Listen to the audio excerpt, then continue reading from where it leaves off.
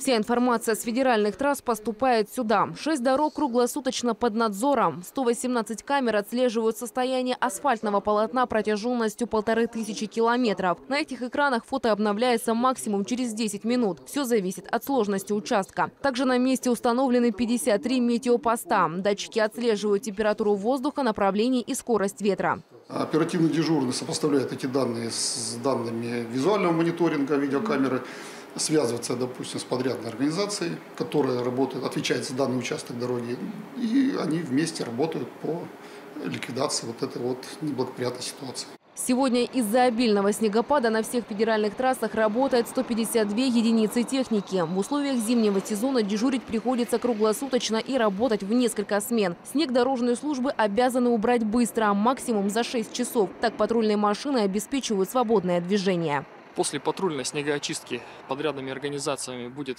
проводиться обработка а, песко-соляной смесью наших федеральных автомобильных дорог. При ухудшении погодных условий и понижении температуры мы перейдем на инертные материалы природного происхождения.